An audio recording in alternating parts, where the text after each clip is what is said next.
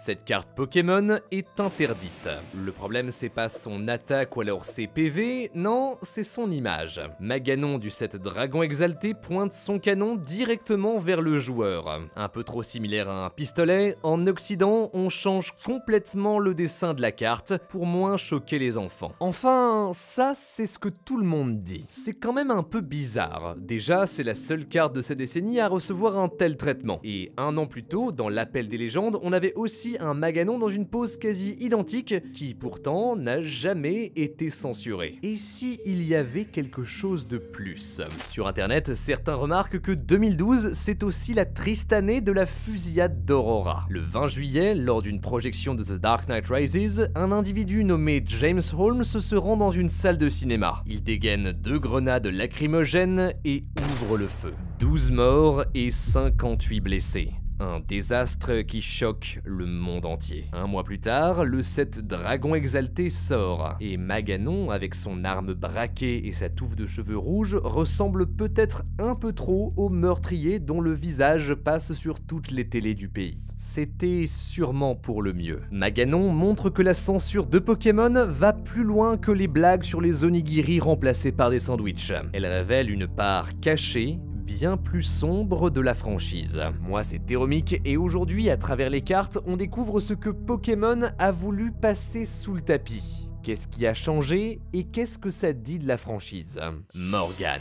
C'est quoi le problème avec cette carte Pokémon? Référence directe à la championne psy de Kanto, elle force les deux joueurs à renvoyer toutes leurs mains dans leur deck et repiocher le même nombre de cartes. Rien de bien spécial, mais pour les gens chez Wizard, ce qui pose problème, c'est la position de la main. On dirait qu'elle fait un doigt ou du moins qu'elle s'apprête à le faire. Alors c'est marrant, mais comme ça, j'y aurais jamais pensé. Par contre, une fois que tu me l'as dit, je peux voir que ça. On décide de censurer la carte et de lui donner un tout nouvel artwork. Maintenant, elle est plutôt en train de te serrer la main. Mais Morgane n'est pas au bout de ses peines. En 2000, dans l'extension Gym Heroes, on découvre son ectoplasma. Dans la version japonaise, il est dans un cimetière, devant une série de tombes en croix. Aux états unis ça passe pas. On ne touche pas à la religion. Yu-Gi-Oh! en avait déjà fait les frais, des pentacles effacés, des références religieuse entièrement transformée, on ne veut surtout pas se faire accuser de satanisme. Du coup, on retire les croix dans le fond d'ectoplasma et on assombrit le tout. Maintenant, on dirait juste qu'il est dans une nuit étoilée. Les cartes ne sont d'ailleurs pas les seules à être touchées. Dans les jeux, on retire les croix et les chapelets des sprites de personnages pensés à la base comme des prêtres shinto, mais qui, par association, pourraient être mal perçus en Occident. Même chose dans le manga Pokémon Aventure Noir et Blanc, Getty se capture tous les champions d'arène et les crucifie. Une double page comme ça, jamais ça passe. Chez nous, on transforme ça en pilier. Dans l'anime X et Y, là c'est Sacha qui se fait écarteler par Lysandre. Là aussi, en Occident, on change la position pour éviter tout rapprochement christique. La seule croix de Pokémon, elle est paradoxalement dans la première saison de l'anime. À la fin du 20e épisode, pour repousser un Fantominus, Ondine en sort une de sa poche. Je sais pas comment, mais c'est passé entre les mailles du filet. Aujourd'hui par contre, Pokémon ne prend aucun risque, ces choses-là, ça passe plus. La technique ninja de Koga. Dans Légende brillante,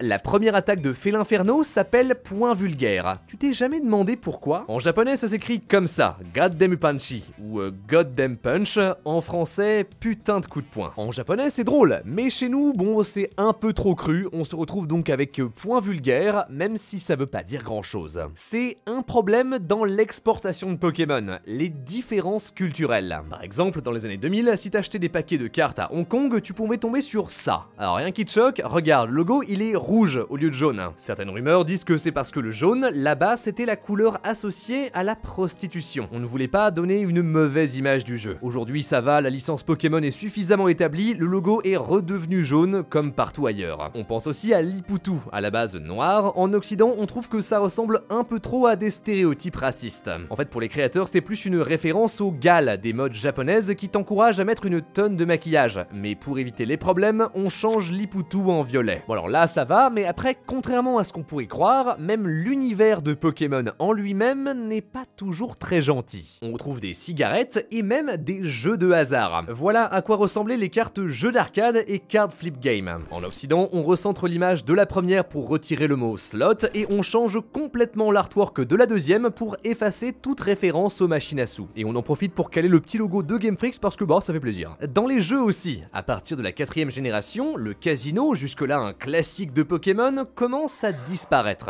en partie grâce à une loi européenne qui interdit de faire de la pub pour des jeux de hasard aux enfants, et c'est vrai que sur le papier, c'est pas trop mal. Mais du coup, c'est pour ça que dans Ruby et Saphir, la salle de jeu, elle est fermée. Au Japon, c'est beaucoup plus admis, le pachinko y est bien plus répandu. Chaque année, les Japonais mettent collectivement 200 milliards là-dedans, et t'as même des faux casinos pour gamins avec des faux jetons. D'ailleurs, la dernière fois que je suis allé au Japon, on s'est fait avoir par ça. Il y a notre pote euh, Lohan qui a pensé avoir gagné le gros lot jusqu'à se rendre compte que tout ce qu'il venait de gagner, euh, ça valait rien. Mais la plus grande différence culturelle, c'est celle-là. À la base, le manji, de son nom japonais, est un symbole bouddhiste de chance et prospérité. Malheureusement, chez nous, ça veut dire autre chose. Même si celle qu'on connaît est dans l'autre sens, ça reste la même forme. Ça a posé des soucis avec Tokyo Revengers et avec les cartes Pokémon. Tu peux attacher technique ninja de Koga à ton Pokémon actif. Quand l'adversaire attaque, alors tu peux échanger le Pokémon équipé avec un dans ton banc. Ce côté surprise, coup de chance, on a voulu le symboliser par un manji. Chez nous, ça passe pas du tout. On enlève la croix et on la remplace par un loup, le symbole chinois de la prospérité. Malheureusement, c'est loin d'être le seul lien entre Pokémon et le régime allemand des années 40. On a reproché à Régis de lever le bras un peu trop haut, même chose pour Jesse et James qui sont dans une pose bizarre, redessinée pour la diffusion occidentale, juste au cas où. Mais le pire, c'est Kadabra. En 99, Uri Geller, un magicien devenu célèbre en tordant des cuillères grâce à la pensée, tombe sur la carte du Pokémon Psy. Aucun doute, c'est une référence à son tour de magie. En japonais, il s'appelle Yungela, l'hommage est direct. Ce qui le choque, c'est les trois éclairs dessinés sur son torse. Même si à la base ça vient des cartes de mentaliste, pour lui ça ressemble un peu trop au symbole des forces spéciales allemandes. Geller est juif, et ça ne lui fait pas du tout plaisir. Il menace Nintendo de procès s'il ne le retire pas tout de suite de la licence, avec 100 millions de dollars en dommages et intérêts. Disparaît, on n'a plus vu dans l'animé depuis 2005, et sa dernière carte remonte à 2003. Les copies en bon état se font donc de plus en plus rares. Il faut attendre 2020, Geller revient et s'excuse, il lève l'interdiction, Nintendo peut de nouveau utiliser le Pokémon. Ça a l'air sympa dit comme ça, mais c'était surtout un coup médiatique. Geller venait d'ouvrir son musée, il a créé du buzz pour faire parler de lui. Euh, bof.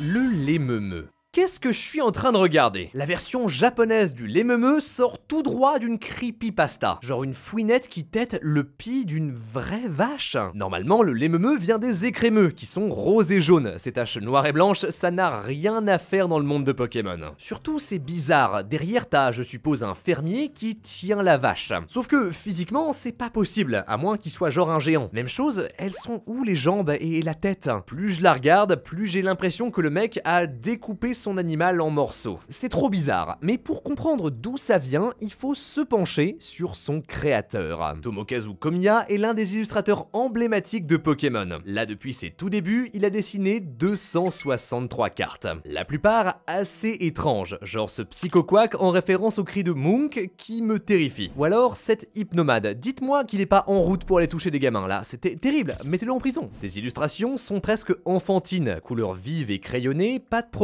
ou même de respect pour les formes de base. Pourtant, eh ben c'est pas moche, ces Pokémon sont fascinants. Tomokazu est en fait un primitiviste, courant d'art russe du 20 e siècle qui cherche l'ordinaire, la naïveté, le rêve, et en ce sens, ça colle parfaitement à Pokémon. Malgré son style excentrique, chez les collectionneurs, ces cartes sont assez populaires. Certains tentent de toutes les rassembler pour en faire un master set. Malheureusement, le Lememe est juste un peu trop bizarre. Pour la sortie occidentale, on demande à Tomokazu d'en refaire une illustration plus standard. Les versions suivantes de la carte, elles, sont juste des bouteilles de lait sans rien de spécial. D'ailleurs, c'était pas la seule fois où on a eu des problèmes avec un écrémeux. Dans l'épisode 207, ou le 50e de Johto, Miaous et Hérissandre sont blessés. Ils rencontrent un écrémeux qui les soigne grâce au pouvoir de la magie. Alors en fait pas du tout, dans l'épisode japonais, à la base, ils boivent le lait directement au pied du Pokémon. On a changé la scène parce que, je sais pas, apparemment t'as pas le droit de montrer ça à la télévision, enfin ok, bizarre. Le seul vestige qu'il en reste, c'est ce plan. À peine quelques secondes plus tôt, on sent que Erisandre était en train de téter sa meilleure mamelle. Les larmes d'Ondine. Le Saint Graal des cartes censurées. Sorti en 2000 dans Gym Challenge, dessiné par Ken Sugimori en personne, l'illustrateur original de Pokémon, Les larmes d'Ondine a fait beaucoup parler d'elle. Même au Japon, les parents trouvent ça un peu bizarre de voir une fille de 10 ans, on le rappelle, visiblement nue. Alors bon, c'est pas de la vraie nudité, c'est plus un effet de style, on retrouvait ça pas mal dans les OAV des années 80-90. En plus, elle tient le cristal de Staros dans ses mains, à mon avis c'est bien plus une référence à Sailor Moon qu'une envie de dessiner une gamine à poil. Mais bon, sans surprise, chez nous, ça passe pas. Sugimori refait une nouvelle version de la carte, plus littérale mais moins poétique. Après, c'est sûr que rétrospectivement, le traitement d'Ondine dans la franchise était un peu bizarre. Seule fille du groupe, c'est sur elle que tombent toutes les blagues salaces que l'on voyait partout à l'époque. Entre l'épisode aux sources chaudes ou alors celui où un garçon lui demande s'il peut boire le lait de ses bzaises, allez, allez Évidemment, en français, on a bien changé tout ça, maintenant il dit... Toi, personne ou Pokémon Mais nous, on sait. Après, bon, niveau censure, Ondine, elle a un peu pris pour les autres. Régulièrement, Pokémon n'hésite pas à jouer sur le côté affriolant de ses personnages ou de ses cartes, genre regarde-moi le boule de ce match hopper. Monsieur, il faut un permis pour conduire ça. Parce que on l'oublie, mais la coquinerie, bon, innocente, elle est une part intégrante de l'identité de Pokémon. Après tout, les paroles du générique japonais, c'est je les attraperai tous, qu'ils soient sur la terre, dans les nuages, dans la jupe de cette fille. Et exactement à ce moment-là, à l'image, on passe entre les jambes d'une gamine qui fait... Et c'est pas la fin pour elle, parce qu'en fait on la revoit sur la carte Tadmorph du set Team Rocket qui regarde sous sa jupe. En niveau easter egg, c'est incroyable, mais bon allez, oui d'accord, il faut changer ça, on recentre le regard de Tadmorph, ça l'aidera pendant son procès. Et dans ce genre-là, t'as pas que les cartes. Dans Or et Argent, on a changé plusieurs sprites, et dans Verfeuille, le vieux pervers de Céladopole qui dit « Cette est géniale, elle est pleine de filles !» Mais maintenant, dans Erdgold et Soul Silver, si tu lui parles, il fait « Cette arène est géniale, elle est pleine de... » Dresseur très fort. Le dessin animé n'est pas tout blanc non plus. L'image des pastèques de James a fait le tour d'internet, mais tout le reste de l'épisode n'est pas mieux. Genre un concours de beauté en maillot de bain avec des longs plans sur Ondine. C'est jamais passé en France, mais surtout, c'est un rappel que OLM, le studio derrière Pokémon, avant, il faisait autre chose. Comme par exemple Gunsmith Cat, une série d'OAV très cool, mais avec son lot de Japon. Ou alors Stainless Night. Voilà, je vous laisse le poster, vous comprenez ce que c'est. Il n'y a pas besoin d'explication, je pense. Donc chez Game Freaks, ils ont vu ces gens-là et ils se sont dit tiens, on va leur donner Pokémon. Ça explique un peu l'ambiance des premières saisons. Mais les plus gros changements, ils viennent des mangas. Electric Tail Pikachu, un manga qui retrace les événements de l'animé, est écrit par Ono Toshihiro, un auteur connu pour Sentai. Le problème c'est que ça se voit, les formes de Ondine et en fait de tout le monde sont assez exagérées, surtout pour une fille qui, on le rappelle, a 10 ans. Le manga se fait assez plaisir, et quand il sort, on redessine tout pour rendre ça plus chaste. Du côté de Pokémon Aventure, c'est pas mieux. On se rappelle de ce gag dans le chapitre 30 quand une des héroïnes cache ses Pokéballs sur sa poitrine. Pour la sortie en anglais, on redessine la case, là j'avoue c'est quand même un peu de l'abus, mais allez bon. Il faut dire qu'une des forces de Pokémon Adventure, c'est justement son côté plus sombre, et des mots de Satoshi Tajiri lui-même, c'était plus proche de la vision qu'il avait à la base pour le jeu. On a des blessés, des morts, des Pokémon zombies, ça par contre, eh bah c'est passé. La seule violence qui a été censurée, c'est celle sur les enfants, genre quand le père du héros met une gifle à son fils. Aujourd'hui, Pokémon Aventure s'est beaucoup calmé, c'est toujours très bien, mais on sent qu'il s'est adapté à un public plus international. Et c'est un peu le cas de la franchise Pokémon tout entière. Comparé à l'ambiance libre, parfois un peu défiante des premières saisons, aujourd'hui tout est lisse. Les nouvelles cartes de Ondine sont beaucoup plus safe, et à part quelques rares cas comme genre le nombril de Jessie qui était effacé en Indonésie, on a presque plus de censure dans Pokémon. Une des dernières que j'ai trouvées vient de l'épisode 118 de Soleil et Lune. Sacha et ses potes apprennent à lancer des shurikens. Chez nous, on a colorié les armes en rose et on leur a rajouté des ventouses. Vraiment le niveau du truc, hein. mais en dehors de ça, on sent qu'ils ont fait attention. La force de Pokémon, c'est son aura, une licence familiale que tout le monde peut apprécier sans risque. La plus grande peur du studio, c'est de perdre ça, que les parents se mettent à douter de leur intégrité, et donc qu'ils arrêtent d'acheter des cartes à leurs enfants. C'est pas si mal, et comparé à d'autres licences, Pokémon s'en sort quand même bien. Mais ce que ces changements nous révèlent, c'est les vestiges d'une autre licence. Le Pokémon D'un autre temps, qui nous rappelle que cette franchise qu'on aime tant est bien plus vaste qu'on pourrait le croire. Et sur ce, merci de m'avoir écouté jusqu'au bout, c'était Théromique, dites-moi en commentaire si vous voulez d'autres vidéos sur Pokémon et si oui, lesquelles. Moi ça me fait plaisir d'en parler de temps en temps, et sur ce je vous dis à très vite, abonnez-vous, croyez en l'âme des cartes, à la prochaine